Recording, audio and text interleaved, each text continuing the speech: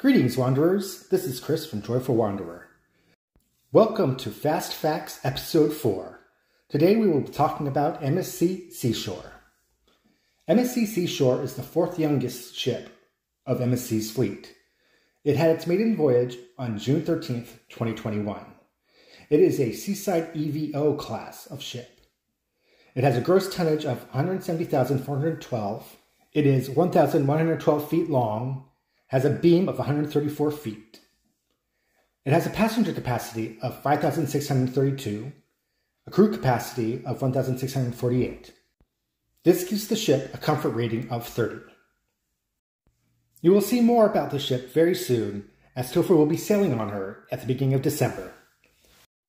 That's it for now, Wanderers. Thank you for tuning in to Fast Facts Episode 4. If you like what you saw, don't forget to click like, subscribe, and click that bell icon to be notified when we release new content. And don't forget, Joyful Wanderer can help you with any of your travel plans and needs. Just contact us at joyfulwanderer.travel or call us at 1 888 299 1969.